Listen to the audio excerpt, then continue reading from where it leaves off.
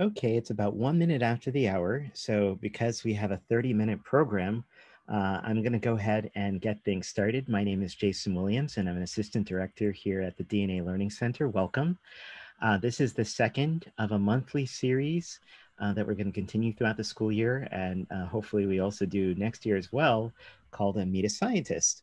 And we're very uh, privileged to have uh, Dr. Camila Dos Santos, who I'll be introducing in a moment, who's going to be our second speaker. Uh, before we do that, I just want to make you aware of some things. So I'm going to share my screen and uh, just uh, bring you to the Learning Center website just to make sure that we're kind of all on the same page. So hopefully uh, you have visited uh, the DNA Learning Center website, maybe even recently, maybe that's how you heard about us and I'll draw your attention to the fall, which will soon be a spring uh, 2020 programs where there are a variety of um, uh, things that we're doing differently this year, of course, uh, and that includes a lot of virtual field trips, uh, many of those which include experiences that are hands-on. And so if you're interested in those things, as well as our science clubs or anytime camps, uh, please go to find out a little bit more about what's going on there uh, because we've been thinking of ways uh, to make sure that we're still reaching uh, all of our students and teachers, and we encourage you to share that. Uh, here we are in the Meet a Scientist series, and uh, of course, we have Dr. Dos Santos, and there's a little bit of an introduction to here to her talk, which is going to be the impact of pregnancy on breast cancer risk. And she's also uh, graciously uh, included a little bit of her story about what is it like to be a scientist for her? How did she uh, get involved in this? Because also part of the point is to hopefully inspire students to think about and see themselves in this career. And we're going to ask you to join us again in January and then also in February. So in January, we'll have Dr. Lloyd Trotman, who is a prostate cancer research here at the lab, and also uh, Dr. I call him Tony, Tony Zador, who is a neuroscientist, is doing fantastic things with neuroscience and artificial intelligence. Um, last reminder is that, well, two reminders. One, we have a question and answer feature. So please go ahead and ask your questions at any time. Uh, Camila, I will call those out to you, or we'll make sure at the end which is usually when we see the most questions, we go ahead and attend to those questions. But we do love to hear your questions. And um, this will be posted later on to YouTube. Uh, one of the reasons we do these talks is it's full of fascinating information. So we hope you share those uh, recordings with your uh, family and friends. So with that said, I am going to uh, give it to you, Dr. Dos Santos, uh, to say a little bit more about your research and give everyone a chance to meet a scientist. So Dr. Dos Santos, uh, everything, the floor is yours. All right, thank you so much, Jason, for this introduction and uh, hello, everyone. Um, I understand that you probably are tired of staring at a computer or doing Zooms for your classrooms. Um, and I, I promise that I, you know, I try to put something that brings some of perspective that what made me wanted to be a scientist, uh, but also what we do here in the lab. So I'm going to be start sharing my screen with you guys. All right, I'm just gonna get laser point. There we go. Um, so what I wanted to talk to you uh, today about is the impact of pregnancy on breast cancer risk. But as I mentioned before, and as also Jason mentioned before, um, I wanted to, you know, give you a little, you know, background about where I come from and how do I become became interested in science. So I'm originally from Brazil. Uh, Brazil is the largest country in, uh, on, in Latin America. It's it's placed on um, on South America, and I um, American Hemisphere, and I come from a city called Campinas, which is inside of São Paulo state. São Paulo is one of the uh, industrial big cities um, in, in Brazil. Uh, we tend to play a joke that São Paulo is the uh, Brazilian New York, just because it's full of buildings, there's a lot of traffic, um, but also a very fun place to live. So I am the oldest of three siblings, uh, and here uh, are my my brother and my sister and my parents, they all live in Brazil. So also all my family, um, they are still in Brazil. So as you guys can imagine, I wasn't able to visit them this year because of COVID.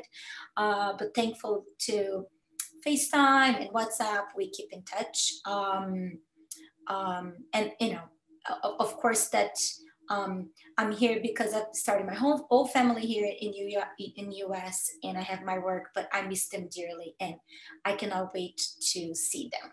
Um, I'm the only scientist of the house, which means that for many, many years, when I was an undergraduate, um, everything that would happen that was crazy around the house, they would blame on me. Um, and even though I'm not at home anymore, they still blame on me when crazy things happen. So um, they've always thought that I have a different perspective in life um, other than because they're business and um, uh, oriented uh, kind of in terms of their profession.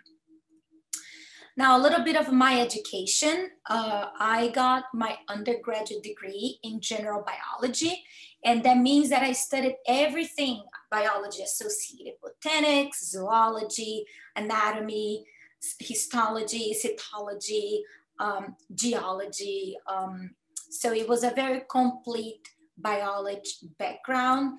Um, and to be honest, I fell in love with every single aspect of it. Um, and when I finished my undergrad, I was still unsure of what I wanted to do. I was really drawn to um, studying model systems like plants, like animals, and looking at cells. So um, during about two years, I worked as a research lab technician at University of São Paulo. Again, it's a big University of São Paulo. And uh, during that time, I kind of figured that I wanted to uh, become more involved with science.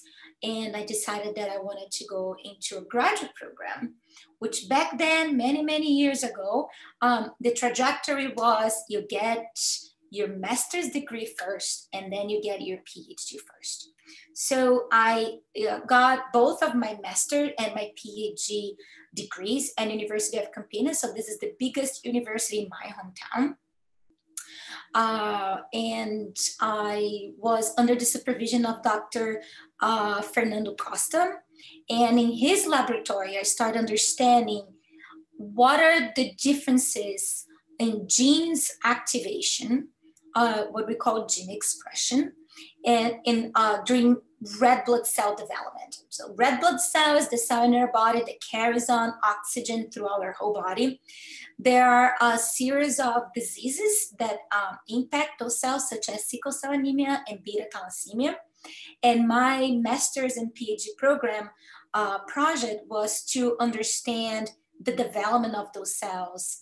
And the goal here was was to understand normal developed so well that we could perhaps revert those uh, syndromes such as sickle cell anemia thalassemia to improve uh, the lifestyle of patients that carry on those diseases. And you're going to see a trend with thinking of normal development and um, carrying that on to disease up to the today what i do in my lab.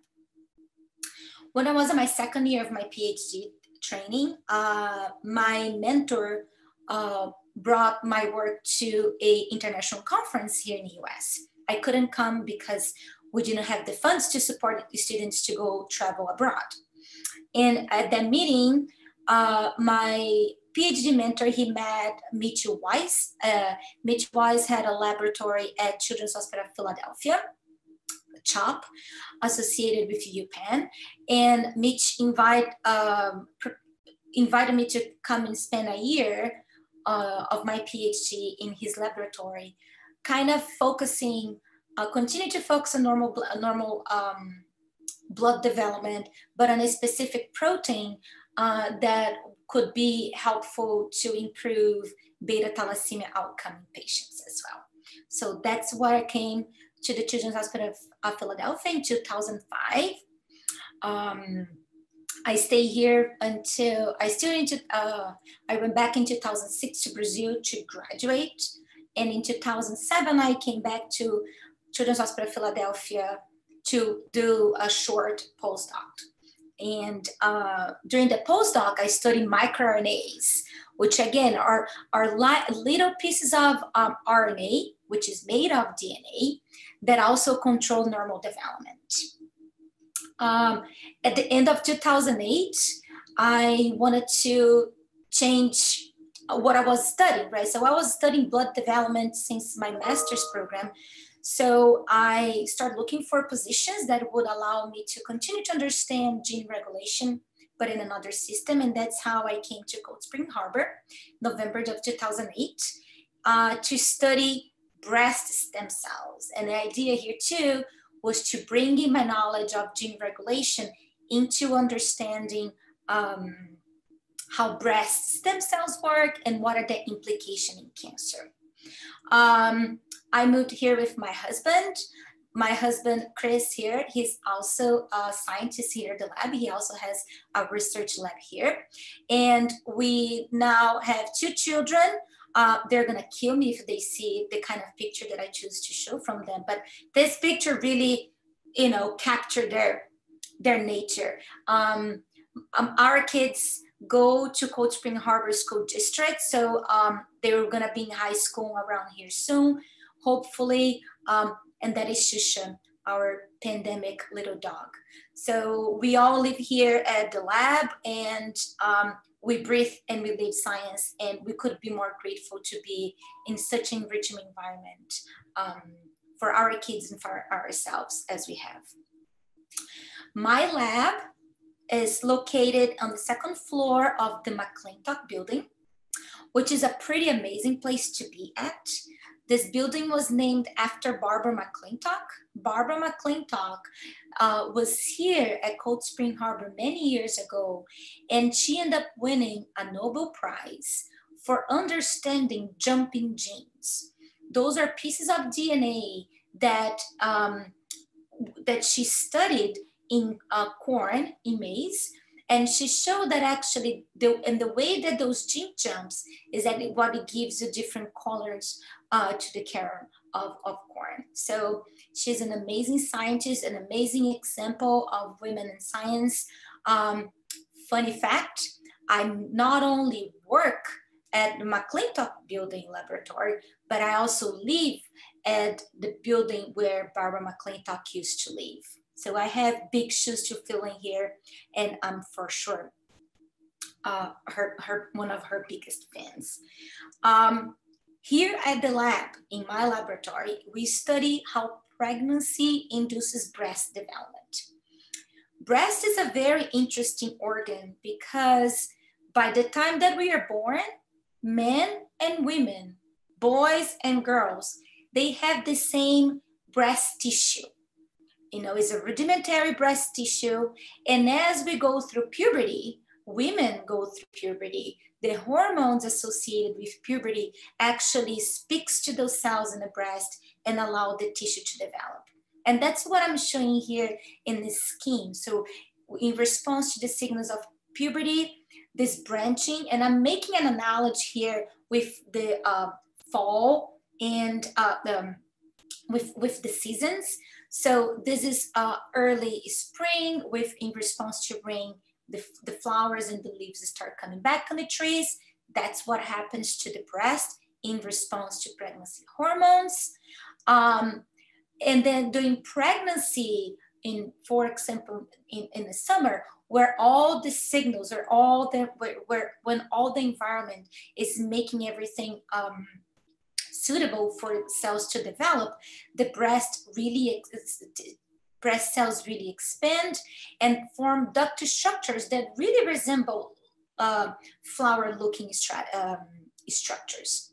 During lactation, those cells stop growing, but instead now they start producing milk. So they turn into mini milk factories. And the main goal here is to produce milk that will support the offspring when the offspring stop nursing, milk stop being produced, and all the cells that produce milk, they are removed from the tissue. They die and they are removed from the tissue, resembling what we go through, um, what we actually going through now, which is the end of, um, of the fall. Um, to be a bit more specific about how that really looks in terms of tissue. So what I'm showing here are images from a mouse tissue, a breast tissue, which shows um, how the breast structure are, is in the animal that just became adult. Um, what we have here then is the breast structure during pregnancy. This is 12 days post-conception and 18 days post-conception. It just means different stages of the baby development. And those during those stages, signals present uh, in, uh, in, in those individuals um, induce those flower-like structures to expand and to grow. This is how they look like from a different um, view. After the offspring is born and during lactation, those uh, the, the, breast tissue pretty much take on the whole uh, fat uh, adipocyte tissue of the gland and it become hollow and it becomes hollow because now it's, it's full of lipid droplets that are going to be part of the milk that will be given to the offspring. Each one of those developmental stages, each one of those stages of breast tissue development are controlled by an epigenetic regulation of gene expression. And this is just a big name to say that some genes, they get turned on during that developmental stage, such as the genes that control growth, they get turned on in response to pregnancy signals. And some genes, they get turned off as well, such as during lactation, the genes that induce growth, they get turned off. So then the genes that produce milk, they can't get, they can get turned on. And we really understand, uh, really keen to understand what are the molecular switches that turn those genes back on and off. And if we can understand that, we can understand how improve milk production in, in those individuals that have uh, that, that have difficulties producing milk, but also we can understand breast cancer. And I will get to that very soon. Um, at that point, I was studying breast stem cells. And at that point that I, that, that, that I joined the lab in 2013, that's when I, you know, was around the time that I was having my second child. And there was an overwhelming amount of information suggesting that nursing is more efficient with the second child.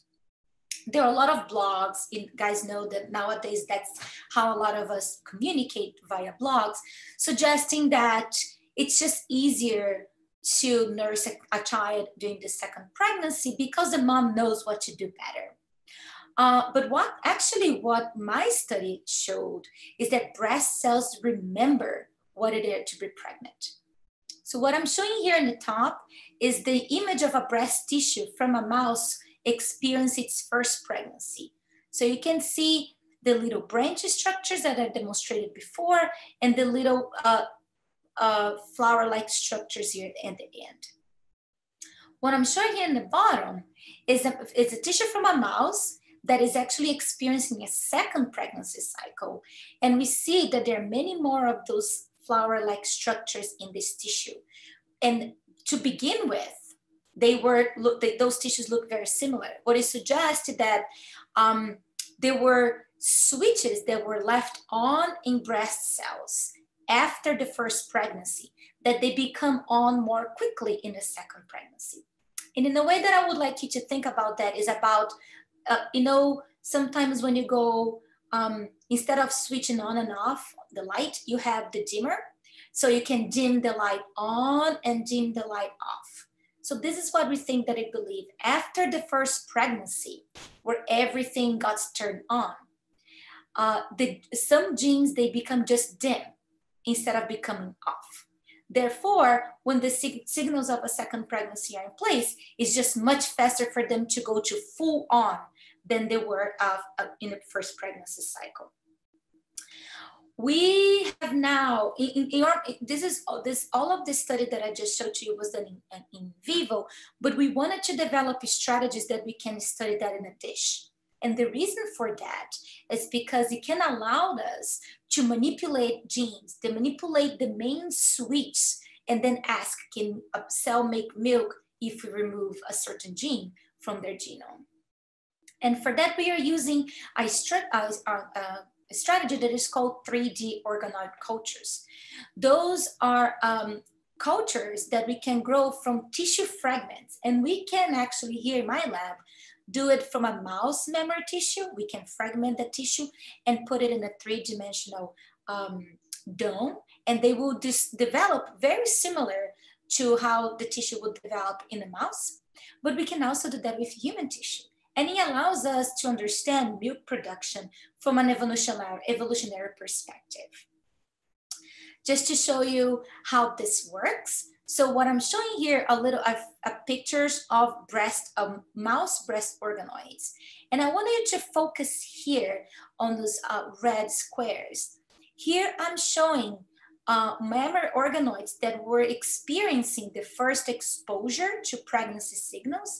And you can see that they start forming those little um, buds, which we call branches. And uh, with longer time, those branches increase.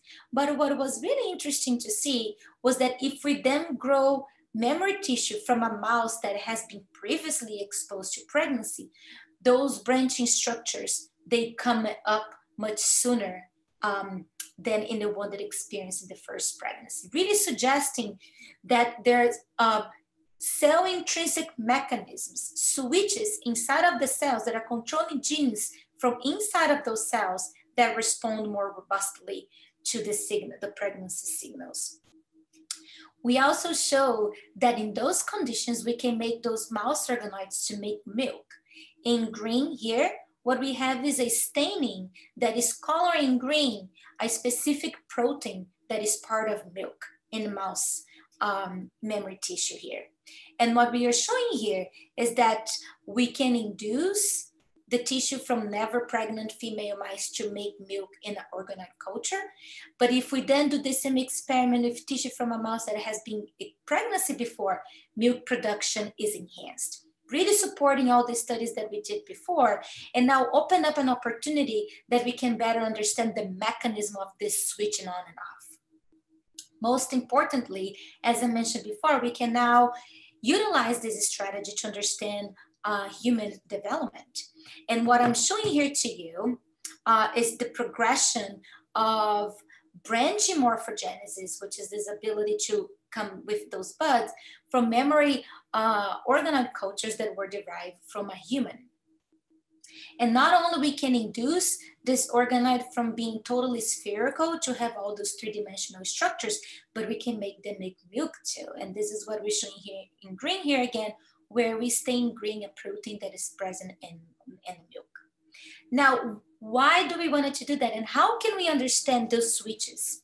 So um, I'm sure that you guys have studied or heard of CRISPR-Cas9, this new strategy that allows a scientist with um, molecular scissors that we can go into a cell and remove a piece of DNA and study what are the effects on cellular behavior when we remove the DNA out. And this is what we are investing, not only from the mouse perspective, but for the human perspective. And we are also using the same system to, to introduce new genes that and ask the question, are those genes, do those genes make better, um, in, in more robust milk production? those strategies are very important because it, it takes me to the second part to, to a second part of what i want to talk to you guys about which is to understand how pregnancy in, uh, affects uh, cancer development and pregnancy in, uh, can affect breast cancer development in many different ways in the way that my lab studies is how women that are pregnant very early in their life have a decrease on their risk to develop breast cancer. That is a decrease in the risk to develop breast cancer that has uh, a genetic basis that you inherit through your DNA but it's also a decrease in the risk from developed cancer that is spontaneously developed. So it's a very strong risk, it's a 30 to 40% drop on the risk. And we are still, we are very interested to understand that because that could, we can translate that into a preventive strategy to block cancer development, even in women that were never pregnant before. And again, what we are looking here is about this epigenetic regulation. Given that pregnancies change how those switches are on and off for milk production, we hypothesized that different switches could be also modulated by pregnancy and changing how cancer genes get turned on and drive cancer development. And we come from the perspective here again that we wanted to understand what happens in normal breast cells first. So then we can then understand what is the impact of those chains and to develop of many different types of subtypes of, of breast cancer, from the more um, frequent ones to the more uh, aggressive ones. And we use mouse models, mostly mouse models to understand that. And here I'm just showing you a very simplistic scheme on how we actually can introduce foreign DNA to germ cells from a mouse from to a developing embryo of a mouse so then we can establish transgenic mouse lines that better resemble um, the human breast cancer develop and it would allow us to understand the effect of pregnancy on them so we developed this mouse model in which we are uh, we put additional copies of the gene MYC. MYC is the bad guy of, of, of cells. A lot of MYC often results into cancer, and not only breast, but other kinds of cancer. And using this system, what we learn is that in the mouse that has never been pregnant, that carry on a lot of this gene, you have that we observe the development of malignant lesions. This is the early stages of cancer development. The cases that when a woman goes to do a mammogram, that's what she sees. However, when we look at the tissue from a mouse that has been pregnant before, we see a very normal breast tissue, suggesting that pregnancy blocks how many copies of the gene MYC would induce cancer development in a mouse breast. What we learned from that, to make a long story short, we learned that MYC, when it's activated in post-pregnancy cells, induce a program that is called senescence. And senescence is a stage that the cells are a little quiet but at the same time they are secreting information to the other cells surrounding them and that information can induce immune cells the guardians of your body to attack them and prevent them from turning to cancer for example and those are the genes that we see that are different to that that poses us the question you know we have been focusing so much on those different on breast cells for so long and maybe there we are missing the link between pregnancy and prevention because we are not expanding our field, uh, field of vision to the, all the other cells that we have in the breast. So how one does that? Too many cells. So we take on a strategy that is called single cell analysis. That is a pretty cool strategy that allows you to get one cell and look at every single RNA that is made in the cell and for those of you that do not know what RNA is, so DNA molecules get made into DNA, into RNA molecules, and those RNA molecules are gonna be the template for the cells to make protein. So we employ that strategy, and this is, each one of those dots here is a different cell type, and they are grouped together to the cell types that are more closely associated with. Using that analysis, we define clusters of cells that represent immune cells in the, in the breast. But also we found cluster of cells that represent the breast cells in the breast tissue.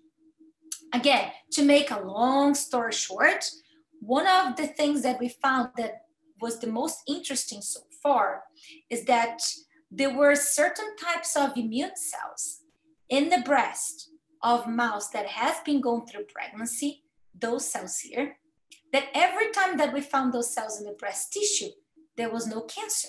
The tissue was normal. So what I'm showing here to you is a strategy that is called flow cytometry. So you know when you go to the doctor and your doctor wants to see your blood counts, that is a very similar strategy that allows the doctors to identify different blood cells in your bloodstream. We can apply that to identify different blood, uh, different cells in the breast as well it, because we have the ability to engineer mice, we identify genes in those cells that when we remove from a mouse, those cells disappear. And every time that those cells disappears, there is the cancer develops, even in a tissue from a post-pregnancy female mouse. And how do they look? They look like this. So very abnormal tissue.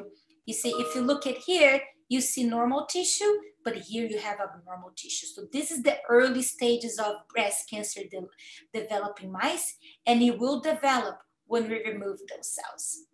Why we are so excited about that? It's because now we can think of vaccination, right? We are talking a lot about COVID vaccination nowadays.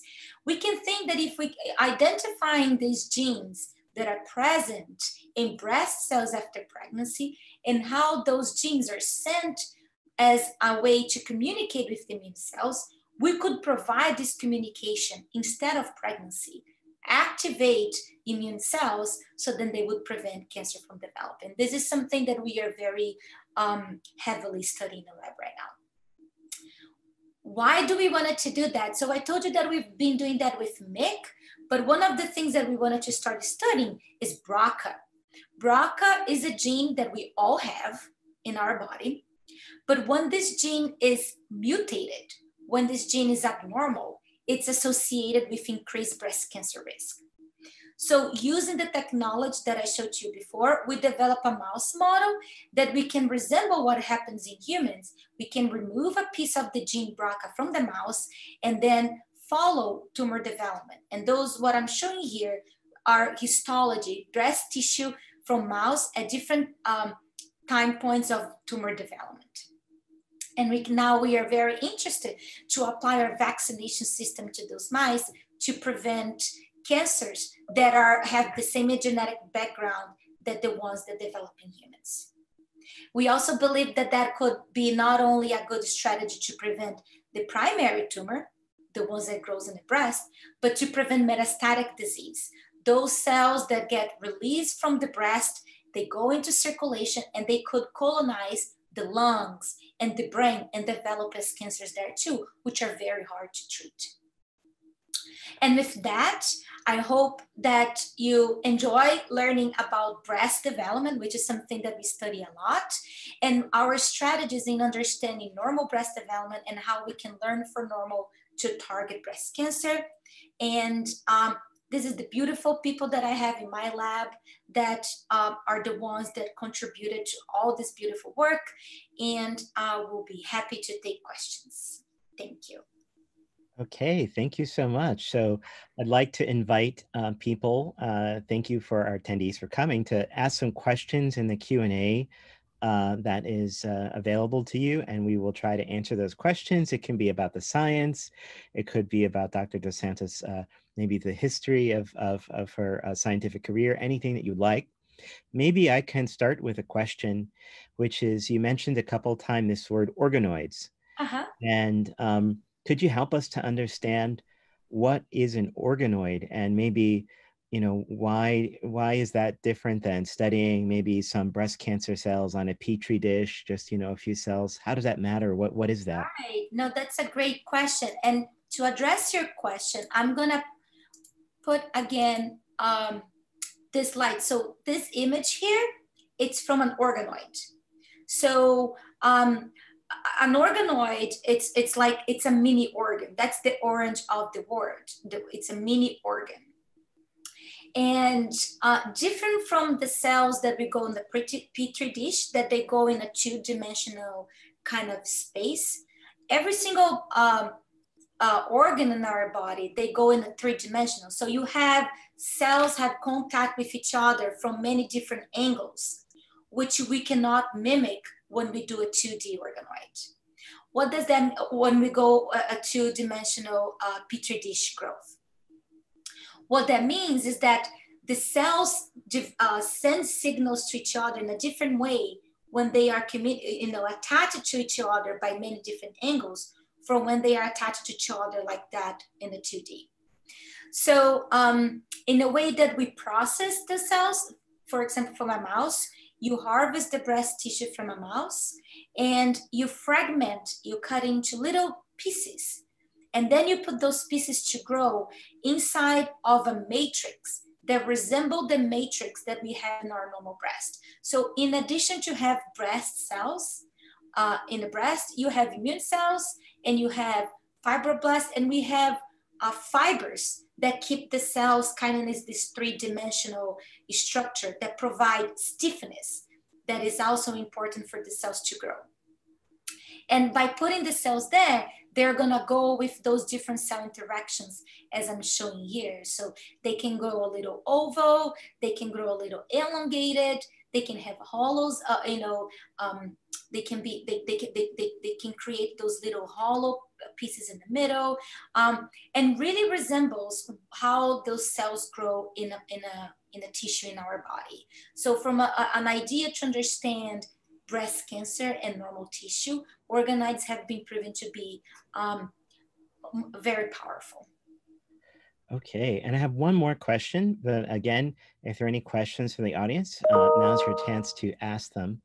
Uh, my question was about, you showed that really interesting slide with uh, the prevalence of cancer depending upon the birth, uh, the age at which somebody got pregnant. Mm -hmm. I'm curious because I'm assuming that that's from an average of you know people who on average got pregnant at age 25 or 35 or whatever but i'm curious uh, has anybody looked carefully or closely at or just in general since i don't know the answer um, in pregnancy i imagine there's a whole bunch of hormonal responses that happen during the pregnancy and are some women do they have more hormonal responses or lower levels of hormones? Do we know in any detail? Are those pregnancies the same, or even you know maybe the hormone response is different at one age and and and not as not the same at a different age? Do we know any more details about how hormones um, in the course of pregnancy change and how that might affect what we're seeing there? Right. No, this is a very good question. I, you know, I, I wanted to start with uh, hormonal levels across different individuals first because this this is why puberty uh, allows us to develop in different ways, right?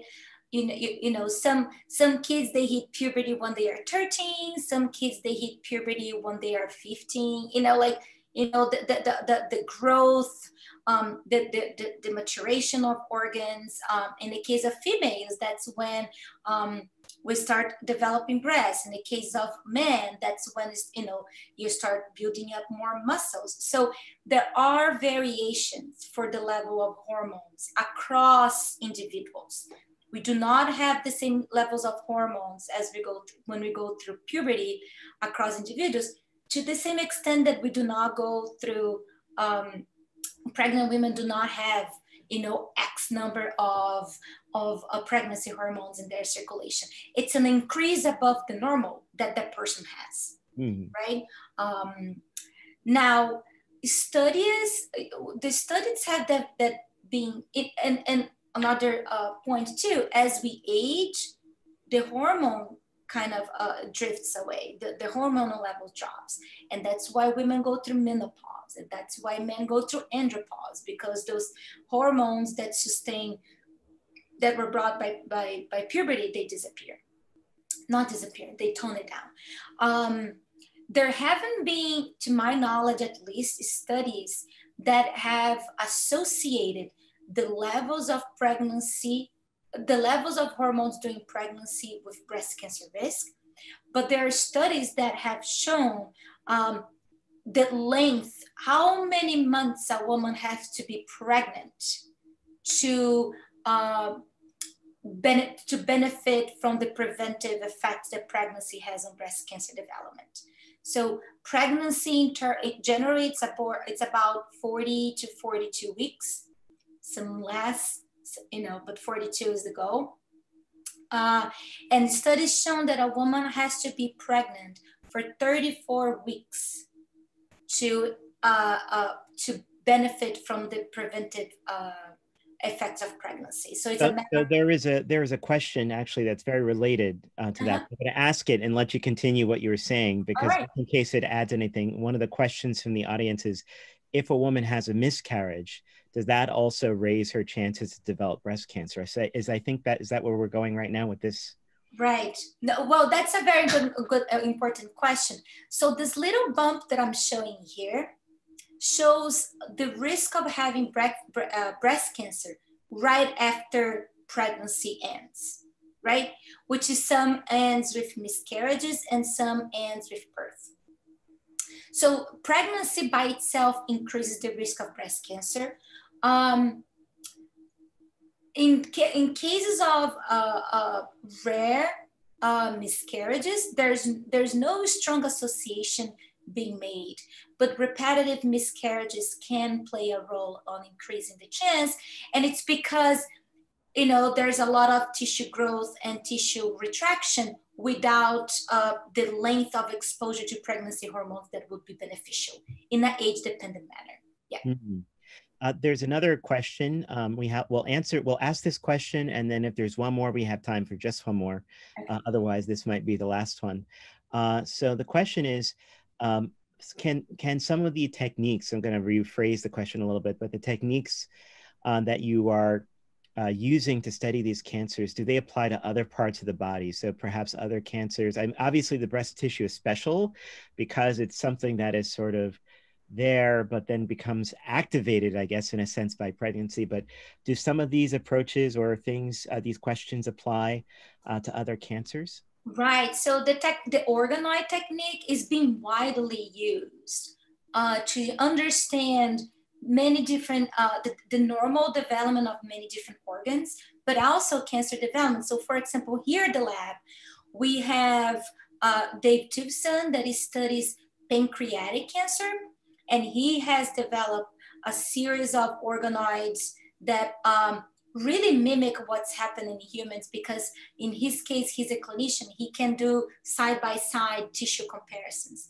Um, we have Semir Beyaz and he has uh, uh, endometrial organoids. So uh, as far as, you know, uh, the, the media that you grow those organoids with is not the same for every, every tissue because every cell every tissue has their own uh, requirements, but you can apply that for um, for many different uh, cancers and organs and, uh, and um, mouse engineering as well. Okay, wonderful.